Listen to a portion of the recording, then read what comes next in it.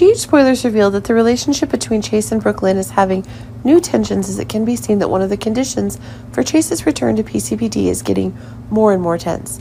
But the truth is that Chase's very desires now take on increasingly uncontrollable conditions. It's certain that there will be one of the exact conditions that Chase himself wants. It is these things that now Brook Lynn is taking more and more actions to control the calculations that Chase has that is making Chase not having any comfort.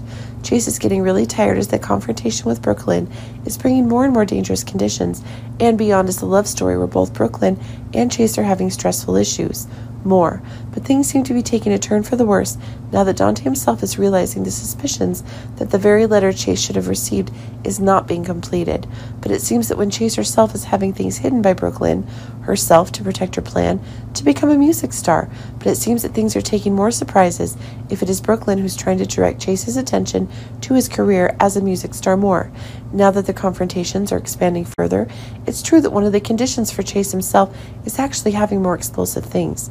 Chase is indeed in a period of real crisis, but it's true that things are now taking new crazy conditions as Chase himself is finding that a new connection is coming to Sasha as his mind sets in motion.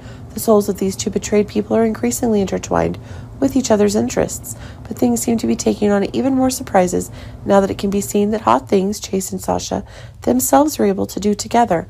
Honestly, it's really Chase who now needs some relief from the stress Brook Lynn is having. Remember when Sasha herself was wishing that there would be a man who could be in with her after the crazy incident that Brando had? But really, things are taking a turn for the worse now that the connection between these two exes is fueling the anger that Brook Lynn herself has.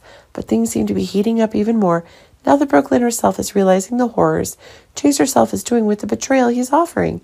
It was conceivable that Chase himself would be caught in bed with Sasha, and that would certainly be a real disaster.